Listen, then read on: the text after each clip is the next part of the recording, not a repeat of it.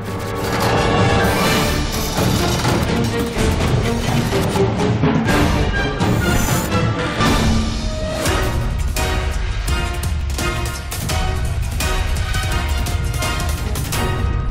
անգամ Բալահովիտում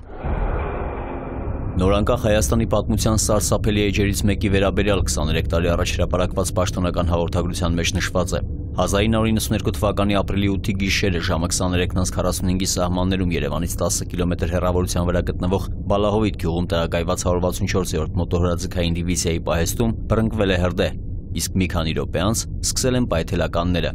92 թվականի ապրիլի 8-ն էր, շատ լավ հիշում եմ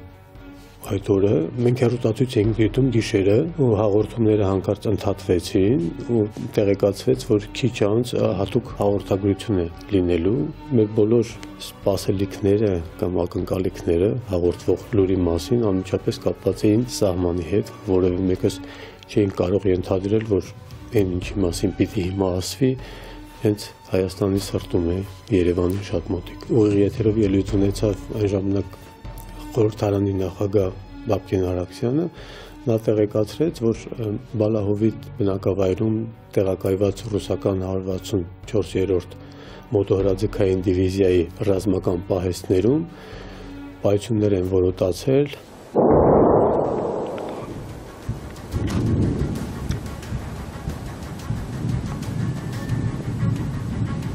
անմիջապես առաջարկում էր հատկապես Աբովյանի շրջանի բնակչությանը եւ Երևանի ծայրամասային թաղամասերի բնակիչներին հնարավորինս հեռանալ այդ գոտուց, ծավալներն այնպեսին են, որ դրանք կարող են տևել 1 օր ու կես։ Ու քանի որ տարածք մտնելու հրդեհը մարելու աշխատանքներ պարզապես անհնար էր կատարել, ըստ էության նրանք որոշել էին, որ պետք է սпасել այնքան, մինչև ամբողջ պարուստային մասը ոչնչանա։ 3 հիսավ։ Ձենը լսացինք, անարտաշիշով կրակում, հելա տեսա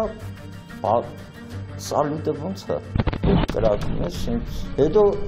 կամած կամած ուժեղացա, կնոջս եմ ձեն տվել, դե կինս էլ հելա, տեսա ժողորդի մեջ արդեն խիպիշ, դե բարձացա բալկոն, հա, տեսա գարետի մեջ խիպիշ, պայսնենա տրակել, պաժարը էսն,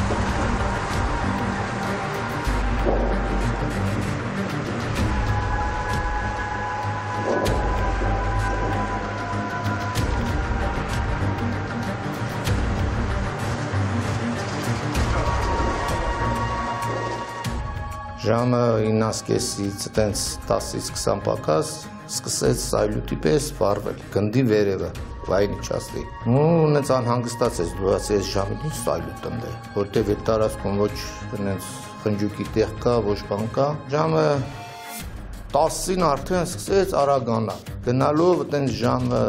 1-ի կոմա արդեն 12-ից 1-ի կոմա ուժեղ ակտիվացավ անընդմեջ այդ սալյուտները շատացան շատացան այդ կրակոցները սնայրատներին էլի երևի տա պայթում։ Հետո այդեն ժամը 1-ից շատ ուժեղացավ դից։ Սկսեց արդեն ռակետներ եկալ։ Գյուղի վրա ու անցնում էր, գյուղի վրա չինգ է։ Մեր տարածքում չինգ է։ Բայց այդ ուժեղ պայթունից սա երկրաշարժման, դե երկրաշարժ տեսել ենք 88-ին։ Այդտենց տղերդում էր գյուղը։ Որ այդ սնայրատները անցնում էր, ասենց երկար անցնում էր, ասենք, Տաղտաղնի, Նոր Հաճ, քաղաքի կողմ, դե գյուղը մեր սարը պահում էր մեզի ունենք այդե սար, այդ սարը չէր թողնել գյուղի վրա ընկներ։ Երկրորդ հարկից մեջ տենամ փողոցով գնա միլիոնավոր ոնց որ մարդիկ փախնեին։ Դե արդեն զգացին, որ լուրջ բան է, ու հիմնական փախնի վայինները։ Գնդի ժողովուրդն էր փախնում հիմնական վայինի ճաստի։ Դուրս եկանք, հետաքրքրվանք, տեսանք ինչ այն չի, ասին որ գունդը պայթում է, բազաները պայթում են, վառվել է։ Գիշերվա ժամը 3-ից հետո նորասին արտակարգ դրություն ա եղել ու ասին, որ մոտակա շրջաներում, ասենք մասիվից, քանակերից բանից հայտարարում նով էր բարեկամներ ունի բան հերրու դեպի ծայրամասեր դավեք։ Երեխեքս հավաքեցին, դուրս ընկել են մի ձևի, շատ մեծ դժվարությամբ։ Ասին կաստա դոչանի կարող է մի հատ սնարյադա կա անգլի մեջ։ Պատերի հելնանից քո կյանքն է կարևոր, թե ինչ որ պատ է։ Ավտոներին կանգնացնում։ Տարեք քաղաք։ Մեզ էլ տարան անի հուրյանից շատ-շատ մարդկանց էլ ես շրջապատից Բոլորն էլ ով ինչ ծանոթ մոտիկ ուներ, այդ ուղությամբ գնաց։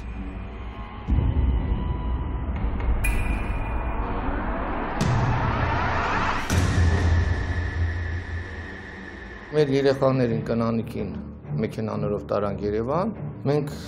սքի մեջ ենք եղել այդ օրերը աղբերներով մնացինք մեր եղբոր մոտը, որը մահացել էր ամսի 7-ին։ Ջայլ տղա էր, աղբերս էր տարանք թաղինք տենց այդ եղել։ Դե գյուղում մարդ չկար։ Սաղ փախել են գյուղից։ Շատ այնպես նեղ սահմանում գյուղի ջայլներով բանում, դե ջայլները սաղ գյուղի գյուղի մուտքը փագել են մարդ չկար մտնել, որտեվ շուխռնգավ գողությունը այդ համ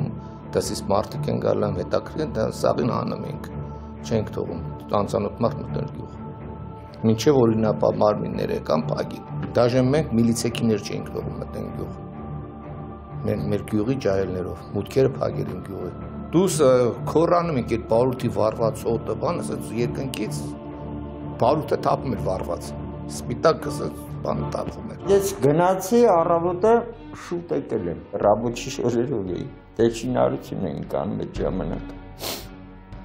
Ասի գամ տենամ տներից ու ձեր չեն տվել, վերջը տան գույքա եղածը, փողը չենք վեկալ։ Այսինքն դապտատակ էլ այնքան խիպիշ մոմենտ էր, դե այդ պահին մտածում ես քո կյանքի մասին, քո երեխայի մասին։ Դե կա տեսա ինչ, ապակիները ջարդված, ասինքն տրակոցից էլի։ Ուշ մետ ապակի չէր մնացել։ Տունը ապակիները կոտրվավ, այդ ուժեղ վալնան տալիս էր լուսամուտները փոկում էր։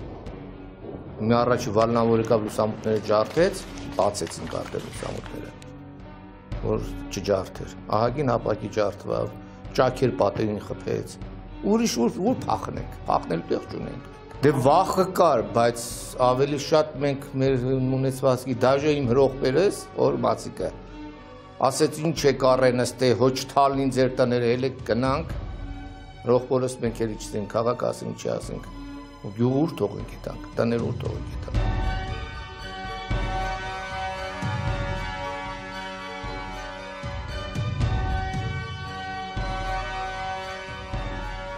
ըստ նախնական գնահատականի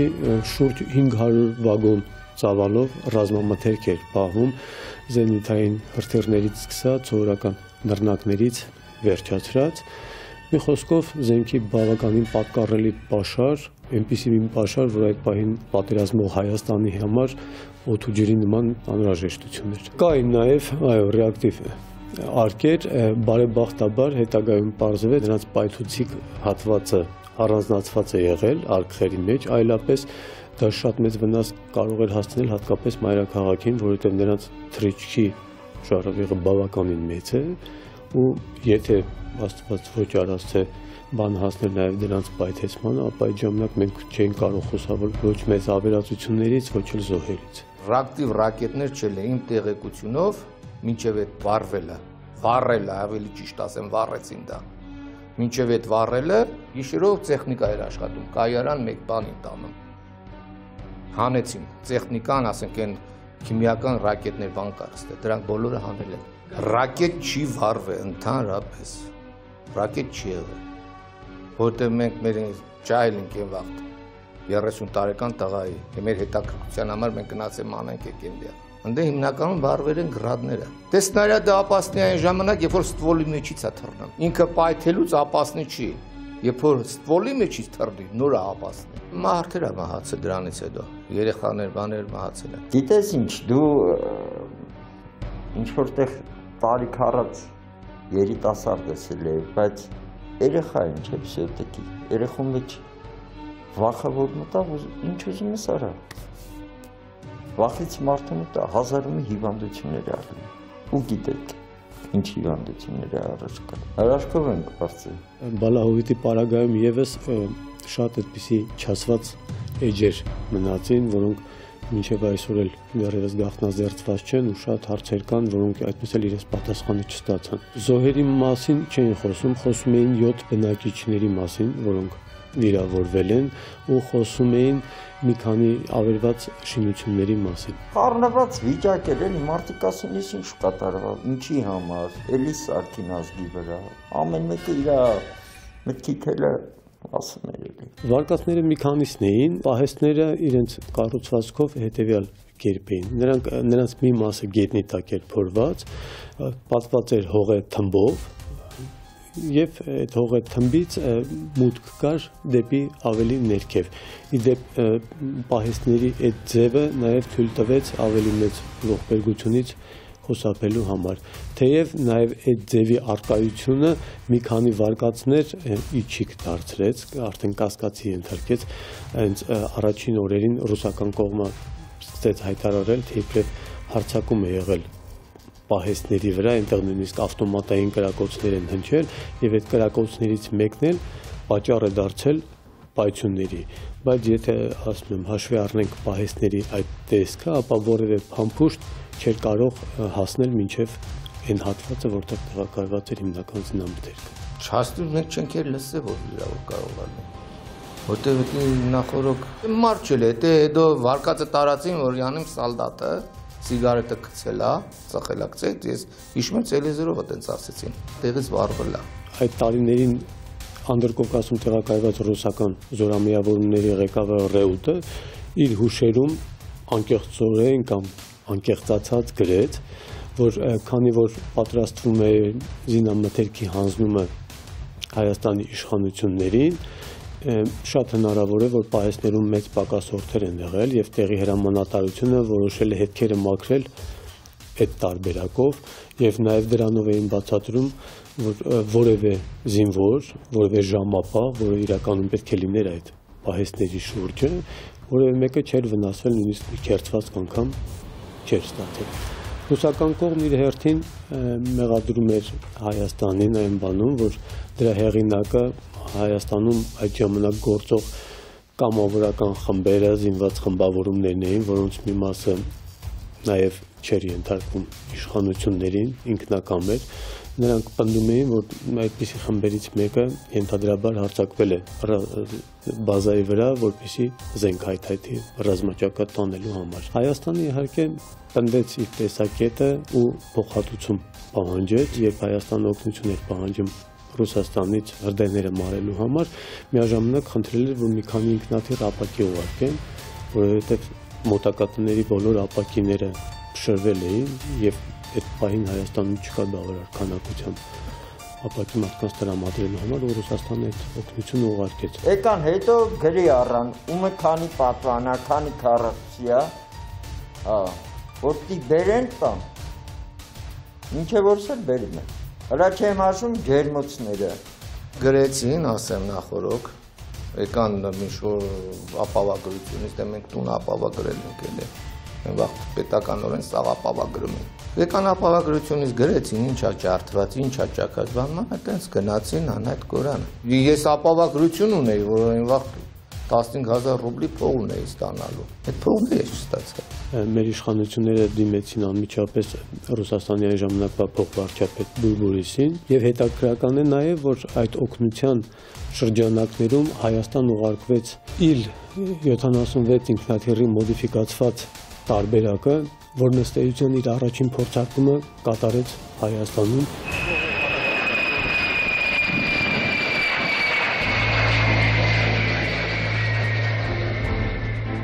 հրշեջներ մարող ինքնաթիռեր նախատեսված էր հենց այդպիսի արտակարգ իրավիճակների համար ու պիտի ասեմ, որ նրանք այնքան գերազանց կատարեցին իրենց աշխատանքը, որ հետագայում այդ օծակցություն Ռուսաստանի հերոսի կոչման արժանացավ։ Նրանք մոտավորապես 30 տոննա ամեն մի թրեշկի ժամանակ 30 տոննա ջուր էին լցնում այրվող պահեստների վրա ու թրջում էին բավականին ցածր, նույնիսկ վտանգավորության աստիճանի ցածր։ Հետագայում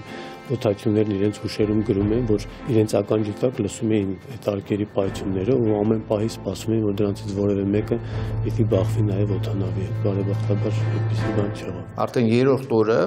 սամայլոտներով բերին սպիտակ փոշի լցին։ Սամայլոտներեն բաներ որ կա, ռուսլանները գալիս, այսինքն իջնում էին համայրա 10 մետր էր մնում գետնին հասնել, բացում էր հետևը, մի անգամից փոշի էր լցում այդ բազայի վրա, որ ասենք մետաղը թուլանար, պայթունից ասկոլկա չկար։ Այդ սամալյոտները գալուց հետո սամալյոտներ եկան, փոշի լցին, գնացին։ Սկսեցին այդ սապյորը հավաքում էր այդ ասենք տրակած բաները, կուտակումին։ տակելուց հետո տրիվոգին տալը, որ պայթում է նախորդ կես ժամ առաջ, որ տարածքը մարդ չլինի, էլի։ Նոր տրակ ասում են։ Լեննականից հատուկ այդ սապյորնի բատալյոնն եկավ, դերսներ էին ետել ասեմ, այդ մինիսկացելով ման են գալի, որ դե այտենց ինչ որ մի բան կար։ Ու 12-ից մեկը իրան ջամն էր էլի դրակ ասում։ 12-ից մեկը մի հատ լապատկա չէին կարա իրար տանք, որովհետև միկրոֆոնով զինվորական մեքենան մեկ երկու երեք անգամ ասում էր հարգելի ժողովուրդ խնդրում ենք 12-ից մեկը ոչ մի բան ստեից հատուկ բաներ էին տանում այն ապասնի սնարյադները շատ նուրբ տանում են կարայես էդի Ադրբեջանի ու Դաղստանի սահման ընդ մենակ օցուկարիչներ են ապրում տանում են դե վերացնում են ասվում էր 168 եթե չեմ սխալվում վագոն ցավալի զենքի ոչնչացման մասին երկու օր անց երբ արդեն բրկարարները շեժները ու զինվորական զորավիաավորները մտան տարածք հավաքելու համար են ամեն ինչ ինչ որ կար եւ նաեւ բնակավայրերից էին հավաքում, երբ որ բնակիչներից ահազանգեր էին ստանում, այդ հավաքված ծավալը մոտարապես մատնանշում էր այդքան ծավալի կորուստ։ Ռսներից էլի, քեփը լավ է։ Ասում են ինքան զենք հայել է։ Այդ մոմենտ սալդատ կար, որ միլիոնատեր գնաց։ Հրպստները, զենքեր որ ծախում էր։ Որտեվ այնտեղ սա այթելի տակ դրեցին գնաց վարվածի տակ։ Սա ամբողջ Հայաստանից գալիսին այդ բազաների տարածքը մանին գալիս։ Պատրոն, որը որ թափված կիսատ վարված ավտոմատ, պիստոլետ այդպես բաներ բայց նորմալները ռսները հանում ծախում են։ Անմեղ զոհեր շատ էլ ան էլի, դրանից հետո ես իմ երեխեքին արկելել եմ այդ տարածքը ընդհանրապես դուրս գալը։ Ասել եմ, չեմ չիմանամ իմ երեխին տնից բացակալ։ Բայց երեխեք կային, որ Աբովյանի, Ծավանից այնքան բաներ էի լսում արդեն։ Երեխա է, առանց իմանալու կարող է այդքան դե մի բանի ծեր տա։ Երեխեք անզգուշության ժամանակ դաժե տանկվի բանը մինը տարել են տունը ուզեցել են քանդեն մեր ներքևի գյուղը Սմոյում այդպես պայթել է տան մեջ։ Մի հատ դեպք պապնեմ անձամբ կատարված է իմ տղուս հետ։ Երեխեքը, մեր մանր երեխեքը 7 տարեկան, 6 տարեկան, 5 տարեկան խաղալուց F1 գրանատ են գտնում, զապալը քաշած, կալցով։ ու թելով կապած։ Իրար ձեռից փախցնել են, վերին ինձ ցույց տվին։ Ես այդ մոմենտ ձեռներից առա մեր խփի տեղը։ Մեր խփի տեղը քանդեցին ու էդի հանձնել եմ գնացել։ Չէ ցեպը, կային որ միտումնավոր բերեն ես թվում է միտումնավոր բերը գցելին այդ մոստի մոտը, քաշած ու թելով կապած։ Որ երեխա թել հենց արցքի տրակի։ 92 թվականին արդեն ըստ էության խորհրդային միությունը որպես այդպիսի պետություն գոյություն չուներ եւ վրա էր հասել ժամանակը, երբ պիտի նախքին գերտերության ունեցվածքը բաշխվեր առանձին անկախացած հանրապետությունների մեջ ու հասկանալի է որ Հայաստանն էլ ակնկալում էր ստանալ այն ինչ որ իրեն է պատկանում եւ առաջին հերթին զենք ու զինամթեր քաշվի առնելով ընթացող պատերազմական իրավիճակը եւ շատ տարօրինակորեն ու զարմանալիորեն պահեստները հանկարծ սկսեցին պայթել հենց այն օրերին նախորդին եւ պատրաստվում են այդ փոխադարձ համաձայնությունը ձեռք բերել ու հանձնումը կատարել։ Նույն իմ հիշատակած ռեոտի հուշերում ակնարկային մասին, որ Հայաստան էր պատրաստվում ժամանել Ռուսաստանից ռևիզիոն խումբ, որը պիտի գնահատեր պահեստներում արկազինամթերքի ծավալը, քանակը եւ իրականացներ այդ հանձնման ընդունման պրոցեդուրան։ Հայկական կողմն էլ լիովին իրավունք ուներ մտածելու, որ դա պայմանավորված է հատկապես այդ հանգամանքով։ Ռուսները այնքան էլ հակված չեն ամբողջ ցավալի զենքնուզի մամթերքը հանձնել Հայաստան։ Իդեպ նշեմ, որ հեսա Հայաստանում արկա միակ պահեստը չէր։ Հայաստանում եւս 5 այդպիսի պահեստներ կային հանրապետության տարբեր անկյուններում խոսքը միայն բալահովիտի մասին չէր։ Խոսվում էր նաև այն մասին, թե նույնիսկ ռուսական գլխավոր շտաբում տարբերակներ են քննարկվել ոչ միայն Հայաստանի պարագայում, այլև մյուս հանրապետություններում ուղակի ոչ մի կերպ չհանձնել պայթուցիկ նյութերը մնացած զինատեսակների շուրջ կարծես թե համաձայնություն կար, բայց պայթուցիկ նյութերի առումով նրանք կարծես թե պատրաստվում էին դա տեղափոխել Ռուսաստան։ Ես շատ լավ հիշում եմ, որ 90-ականների սկզբներին այդպիսի փորձեր եղան երբ ռուսական ռազմաբազաներից զինամթերք եւ տեխնիկա շարժվում էր դեպի վրացական սահմանը ախալքալակի ռազմաբազա տեղափոխելու համար եւ հայկական կամավորական խմբերը ուղղակի փակեցին ճանապարհները բռնագրավեցին այդ ամբողջ բեռը թույլ չտալով որպեսզի դրանք հեռացվեն մեր երկրի տարածքից 92 թվականի հունվարին հայտարարվում է հայոց բանակի ծնունդը նույն տարվա հունվարի 28-ին չէ մայիսի 8-ին արդեն պիտի լիներ Շուշիի օպերացիան եւ ահա այս երկու կարևորագույն իրադարձությունների կենտրոնում տեղի ունենում Բալահովիտի պայթյունը, որքան էլ ցանկություն չունենաս նրանց մեջ կապ տեսնելու, այնուամենայնիվ չես կարողանում շրջանցել այդ երեք գլխավոր իրադարձությունների ներքին դրամաբանական կապը։ Մի պահ նաև պատկերացնենք 90-ականների Հայաստանը, որը զուրկ էր զենք ուզինամթերք ձեռք բերելու միջոցներից, հազիվ օրախնդիր հարցեր էր լուծում բնակչությանը առաջին անհրաժեշտության ապրանքներով ապահովել խնդիր կար, կար շրջափակման պարագան, երբ երկիր ոչինչ չէր մտնում, ոչինչ դուրս չէր գալիս, ու այս հանգամանքներում երկրի ներսում եղած յուրաքանչյուր փամփուշտը մեծագույն արժեք էր ու հետագայում երբ Ռուսաստանը համաձայնեց փոխհատուցում վճարել այդ քայլով կարծես թե նաև արդարացրեց Հայաստանի պահանջը ու անուղակիորեն հաստատեց իր մեղքի բաժինը պարեսների ոչնչացման հարցում. Որևէ հետաքննություն չծարվեց, որևէ մեղավոր չպատժվեց,